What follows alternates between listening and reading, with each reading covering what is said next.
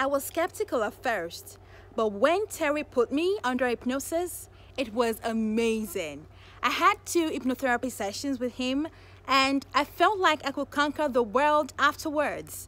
If you're looking for help with anything, you should contact him.